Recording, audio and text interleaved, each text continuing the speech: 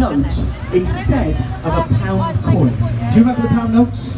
You do? Who remembers the old pound notes? Give a little wave. Hands down. Who doesn't remember the pound notes? Give a wave.